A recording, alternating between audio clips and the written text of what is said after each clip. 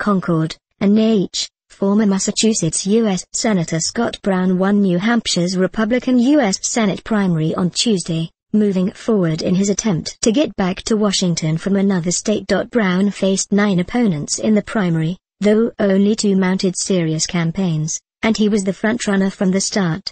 He'll face Democratic incumbent Jeanne Shaheen in November in one of a handful of races that will decide control of the Senate for the final two years of President Barack Obama's term. This is Brown's third U.S. Senate campaign in five years.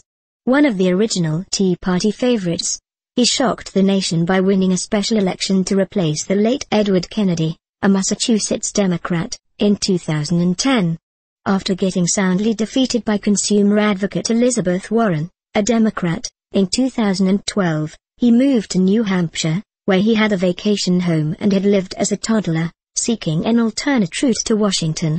If Brown is successful, he would become only the third U.S. Senator to serve multiple states.